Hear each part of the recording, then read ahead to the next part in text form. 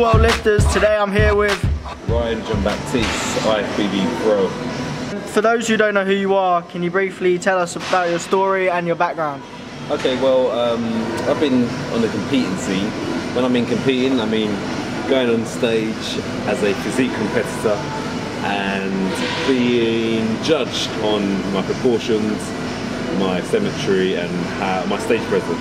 I've been doing that since 2009 um, as a fitness model, and then I upgraded to men's physique, which is more the in thing right now. And yeah, so I've been doing that since 2009. It's now 2016. I've built my career up and my placings and where I stand in the fitness industry, and I've done pretty well, I must say. Yeah, so where did you start um, lifting? Did you just pick up some dumbbells, do some bicep curls, or what? To be honest, I think because when I was younger, I was doing a lot of different sports, and um, I was doing like athletics, football, boxing. I've done, I've done a number of different sports, and within those sports, you, uh, you had to complement that with weights, weightlifting, resistance training. So I kind of got myself into that through doing those sports, and once all those sports went out the window, weightlifting was left. and I actually started to enjoy it. Uh, my physique, my, my body kind of responded quite well to, to it as well. So um, see changes. And when you see changes, what happens? You keep doing it, you keep improving, keep getting better, and that's what happened. And I find myself here. You got invited to Mr. Olympia, obviously. Yeah. That's um, many man's dream. So how did you get invited and what was your initial reaction? Well, um, to get invited to the Mr. Olympia, you have to qualify. Um, and to do that, you have to have a pro card. So I got my pro card in 2014, winning the overall at the British Finals, uh, which is actually two years to the date. Um, so next week, sorry. Two years next week. Got my pro card, then you have to qualify. So there's a number of different qualifiers around the world. I actually qualified in San Marino in Italy. Um, you have to come first as well, so I came first in that category. And when I got first, I was like, whoa, I've actually now, now qualified for the physique Olympia. That was back in November 2015. And I had basically just under a year to prepare myself for Olympia. So I was excited, I got down to work and you know, it went down. Did you suddenly notice a, a rising popularity with your brand? Um, yeah, definitely. I mean, a lot of people started to follow and follow um, my story and how I've done it and how, how I'm going to do it. Especially when I'm a family man as well. I've got a whole family, got two children, or three children, I've got a wife, and just doing that amongst prepping as well is not it's not easy. But people appreciate it and I've inspired quite a lot of people and I tend to inspire a lot more doing it so doing so um, yeah so it has helped me uh, helped the brand and yeah I'm just love training even more now you said you love training even more. Did you make any changes to your prep or or your trainings did you change them at all? To be honest I've kept it the same. Um, I, my, my rep range is 15 reps. I mean, you might think that's light, it's not. I actually go really heavy 15 reps, so sometimes it's 12 reps, but sometimes you have to rest pause for three more reps, that kind of thing. So I haven't really changed it. Um, I still include all my drop sets, my supersets, uh, giant sets, you name it, you know, it's hard work. Um, the only thing I've changed is obviously when I get close to the competition, I like to incorporate a lot of cardio. Um, you know, I went to two hours a day cardio last last two and a half weeks, two hours a week, two hours a day cardio. I went in. I mean, I like to I like to think to myself, if I'm not tired, I'm not battered, uh, I'm not prepping properly, I'm not training hard enough, and that's my uh, that's my uh, old philosophy. And what's your favourite form of cardio? Uphill walking. I won't say it's my favourite, but it's the one that's most effective uh, to me. Um, uphill walking, I like to have an incline of 15 with speeds between 4.5 and 5.5 kilometers an hour. Did you change food at all? Uh, yeah, believe me, I did. I mean, I, I went from off season eating pizza, burgers, 30% of the time to not eating it. Um, so I went from clean from that to clean kind of protein sources from chicken breast, turkey breast, white fish. Those were my main protein sources as I came close to the competition. Um, carb sources, I did stick to more whole grain, uh, rice and sweet potato. But I must say, I do put in a few cheat days, not cheat meals, cheat days. And when I mean cheat days, I go in, I don't mess around. Let me give you an example. Go one ahead. Day, one day, all right, from two o'clock in the morning, right, to 11.30 that night, I must have consumed at least 20,000 calories, no word of a lie. And that was for a lot of sugars. Chocolates, you name it. You know. Domino's pizza. One, one day I had I had um, Five Guys, followed by KFC about an hour later. I stopped off at about three different petrol stations. This is on the way, on the way back from Birmingham. You name it, it was non-stop. I was buying cho- big bars of chocolate, packs of crisps for one day. And I, when I do it, I do it properly. To be honest, the next day I looked even leaner. I was vascular. I mean, I was pumped. Sometimes the body needs that refeed. I wouldn't say Yeah. I wouldn't say go that um, Crazy. that crazy, but sometimes you need to refeed the body. Yeah. Why do you think the body still stayed lean? I, I think because literally I was I was I was in a deficit. I was literally so depleted. My muscles, my body, the physique was so depleted. It literally needed those calories, and sometimes when you consume it, your metabolism then increases as well, and you it just kick starts, and you don't even utilize. You don't put on any body fat. You just get a massive pump and burn more calories as well at the same time. What about any special dieting methods such as water manipulation, sodium manipulation, especially when traveling over that long distance? Yeah, so when it comes to, I don't get too complicated with it. I mean, I normally like to get myself a condition three three weeks out from competition. I'm ready to go. So if I'm ready to go three weeks out, I'm not going to be messing around with any science tests. So what I, the only thing I do do is um, on the day before the competition, I cut my water a little bit and sit when my mouth is dry and leading into the competition and, and, and until when I go on stage. Um, the other thing I do is before I go on stage, I like to consume a lot of sodium. So whether it's salty rice cakes or pretzels, um, also with sugars as well, and fats. I consume a lot of that just before I got on stage, and that's it really. I don't get too complicated. A lot of people like to So you don't run, do it- run tests on themselves when you know it's not needed. You don't do it down to the gram. Um, no, not when it comes to sodium in, uh, intake. I just literally pile in. And liters for the more the water. Um, yeah, so I normally will only consume about a litre before, um, on the, like say 24 hours before, if that, if that, yeah. Do you ever set yourself a weight to reach when dieting, or do you just focus on your condition and see where your weight ends up? Yeah, that exactly. I, I like to kind of um, focus on more visuals. I don't focus on weight. I focus on visuals. Um, No reason- weight classes in the physique. No, men's physique. There's no weight class. It's just height class. Um, as long as I look good, because in the end of the day, the judges is not doesn't care about your weight. They just care about what you look like, how lean you are, how conditioned, and your proportions. So, in the end of the day, it's good to see what your weight is, but that's not the. It's not critical. You'll get down to 60 kilograms. Just Yeah, I wouldn't do that. I mean, I, I literally was 96 kg on the Olympia stage. When I qualified, I was 89 kg. I mean, I didn't really kind of plan to do it. It just happened. I actually grew a lot in my off season, and I kept my um, kept muscle throughout my prep as well. So. Uh, what were your expectations of the Olympia, and did you meet any heroes? expectation. To be honest, I, had, I didn't have any expectation. I didn't even know what was going to happen. Um, I mean, it was just good to get on that stage, you know. Anyway, I mean, I said to someone, top ten would be really good. Top six would be um, Phenomenal. uh, phenomenal, overwhelming, and first place would be like I might as well die now. Um, but I got 11th, so I was happy with that. I was happy. I got second call out.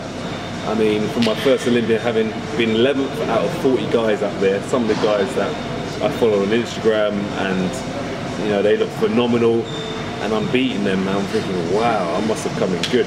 But for me now, coming 11th, it's just made me even hungrier. I want to break that top 10, break that top six, and um, going from there. I mean, I wouldn't say they're my heroes, but I would say um, they've inspired. Some of them have inspired me to kind of push harder as well. So yeah. Have you learned from any of them in the past? I won't say I've learned, but I've learned from the experience of being on that stage, and now knowing what I should expect from myself and what to expect on the day. I mean, uh, it's when they say experience is, is crucial. Trust me, really crucial. I will be a lot more relaxed on the day and um, kind of know what to expect going forward. For those who aspire to do physique, what was it like to stand on the stage and compete with the likes of Ryan Terry and Jeremy Buendia? I mean, it was it was good to mix up. To be honest, we was mixing up backstage. Um, they're just normal people in the end of the day, human beings like everyone else watching this. But I mean, they're, they're quite inspiring. You know, just being an ordinary guys, you know, they've made it to the top and done well for themselves. It's good to mix up with them, and knowing that I'm on that level playing field as well means that there's still and there's more room to improve as well. So that, that's for me. I, I like losing because that's to be honest that that's what makes that makes me drive even more, makes me more hungry just to eat and more hungry to train harder. Um, so yeah, it was really good to mix it with, with those guys. Uh, were you happy with the result and what do you think you will need to do to place higher next year? Yeah, to be honest, I was pretty happy with the result. Um, to place higher, I'm just going to grind harder. And you're definitely going to be there? I will, 100%. I haven't qualified yet, but I'm going to be there. And I'm going to grind harder than ever before. Um, my physique will change, trust me, it's going to change even more. I'm going to bring a different package, even better package than I did already, because now I've experienced how my body um, reacts, being a little bit heavier, and yeah, you know, it's, it's game time. It's, it's, about breaking that top 10, maybe even top 6. And your shirt says strength and struggle. It does. Do you think that sums up your journey so far? honest, that's a good shout, that. Struggle.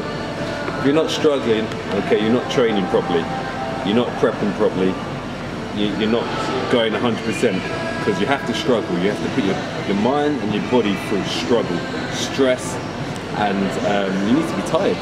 Yeah. Okay? Too many people tired. dick around with long rest periods. All these long rest periods and being too scientific with what they're doing. Just train hard. Okay, it's simple as that. Train hard and diet hard, and trust me, you will bring the best out of your own physique. All right, and how are you looking now? Okay, I'm four weeks out from a competition, but I'm still dialing. I've had a, about a week and a half, two weeks eating eating my, you know, eating things. Um, American things. American things in Vegas and Spain. I went to Barcelona. But yeah, I'm four weeks out. Going to be dialing in again. Then do look out. I'm going to be doing Moscow Pro end of. What's the date October. of that? 28th of October. 28th, 29th. Yeah, October. Yeah. Look, if you're interested as well, skip over to my Instagram page. I'm going to plug it. Ryan John Baptiste. I'm doing a seminar, men's physique seminar. Um, in November. So do look out for the advertisements, promos for that. Do you know the day and location? That's coming out in the next few weeks. On your Facebook page? Uh, Facebook page is forward stroke, um, it's good for shout actually, forward stroke official Ryan Baptiste. Yeah. and all this information will be on there and your Instagram, right? Exactly, yeah, all Instagram. Men's Physique, it's called What It Takes Seminar, Ultimate uh, Men's Physique Seminar. So Trust me, it's about all my Olympia prep and everything to go with it. And also it's a one hour posing workshop included. Awesome. Great. Good to chop it up with you, Ryan. Peace. Okay, cool. How many reps? Uh, 20 reps. About a second squeeze at the top. Come on, get out. Come on. Go again.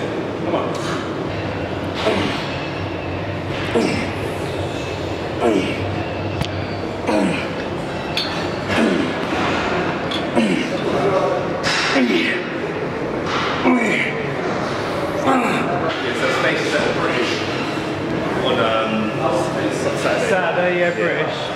Stays a bit. British steak bikini over, what sheet over? Up to 172. Up to 172.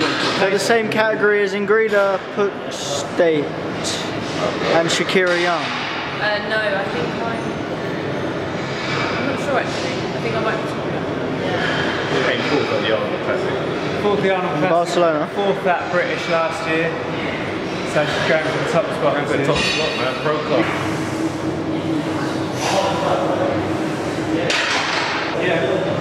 go.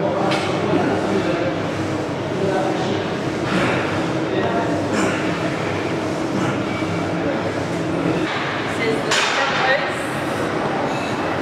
A bit of side. You got any of your own names for them? Not really, no. Bicep plate. Burgers. Too many burgers. Too many, man. Go again. What is it? That's, After too many burgers. That's two weeks worth of just eating whatever. when you're when you're an Olympian, yeah. Come on, let's go. Good. Good. What's that? Here we go. Ten of one.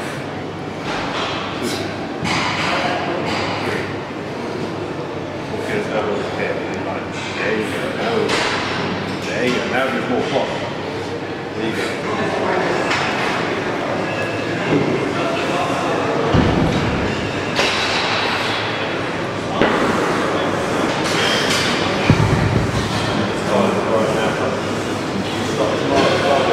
Mr. Olympia. Mr. Fucking. What can I say? It's all the same. Yeah. Side delts. Here, slightly side, but also your rear delts. Come on, wait. Yeah, I feel that a bit in the triceps. Maybe I'm doing it wrong. You're probably extending a little bit. Yeah, Probably doing that a bit. nature of powerlifting, right? Yeah, where you start using all different muscles. All Yeah, we, we like yeah. to bench a lat pull down, you know what I mean? Yeah, yeah, with bodybuilding, it's good to it's slightly different. So if you want to hit the shoulders, we engage the shoulders and try and reduce the amount of engagement in other muscles. Bodybuilding, we leave shoulders to one day, we chest to another day. You know, try not to uh, bring the two together most of the time. You know. We try not to. Sometimes, yes, they work as synergists together, but Separation for Yeah. that separation. Try to. Boom. Good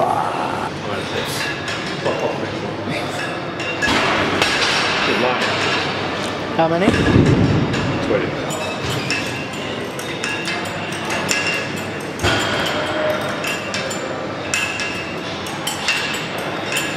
it's crazy different with a, like a lifter. He just has to smash it out, doesn't he? yeah, yeah.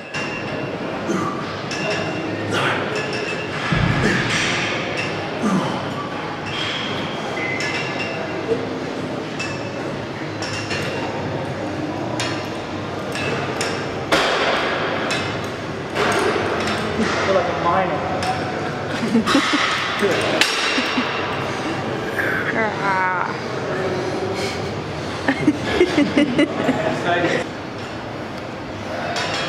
What's your favourite? Favorite pose. Go on. Huh? Go on. didn't actually do it on the stage, I don't know. but I will do it in Moscow. Hit the camera with it.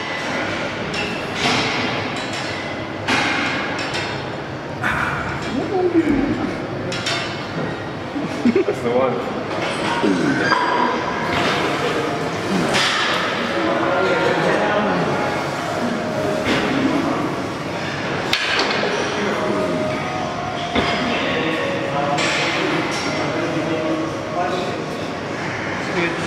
Sweet. 20, sorry. Ready to see some real bodybuilders. That's it, man.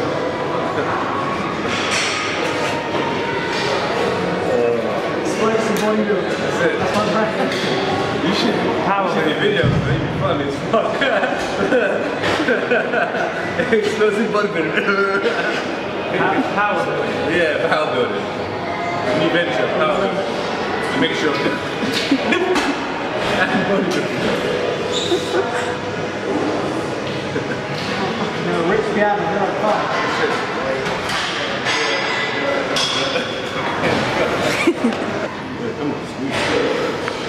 your lat here, stretch your lat. There you go, let it stretch that it. There you go. That's the way. Good. Good. Nice. Good. So, that's the one. That's the one. What's your Instagram? Don't ask me to spell it. Quarter turn to the right. I thought I should do quarter turn. And face the rear.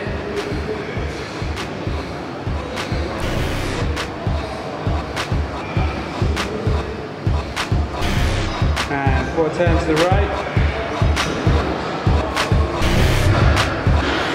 Oh, it's too much ooh la la in one shot, man.